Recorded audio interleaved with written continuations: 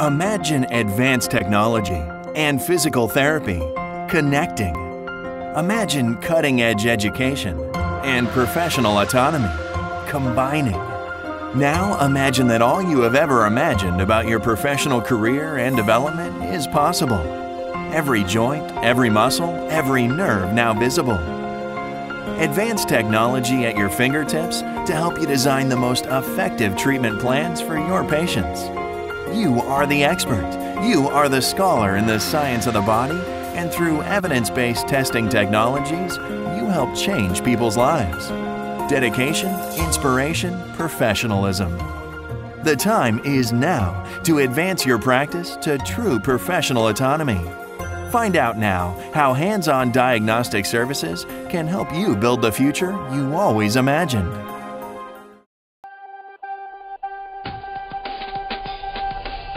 Physical therapy practice will be truly autonomous, and part of this autonomous physical therapy practice diagnostic testing plays a very important role. It's very important for us as a profession to practice with autonomy. It's something that um, the American Physical Therapy Association has been working hard for. It's something I personally did my uh, thesis on autonomy 16 years ago.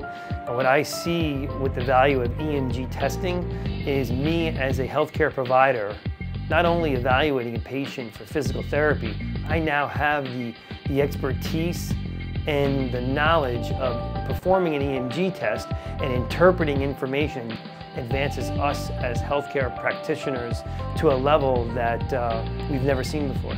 What this does for our facility, um, it, it, actually is giving the physical therapists an opportunity to do uh, extra work. So in other words, they're getting trained to be able to be diagnosticians and with that make extra money. For, in the facility, being able to bill uh, as physical therapists, being able to do needle EMGs where only physical therapists and medical doctors can do that gives us an advantage to be able to bill and actually bring more money into the facility.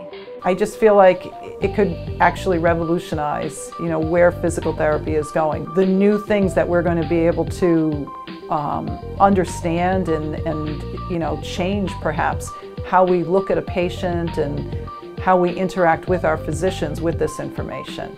This will enable physical therapists to become more independent and autonomous practitioners.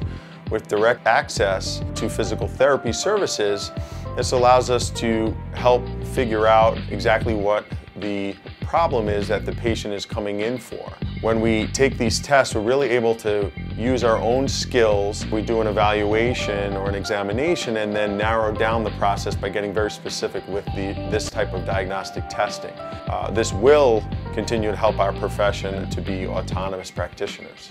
I think uh, this is like the next step to uh, really solidifying the platform for physical therapists.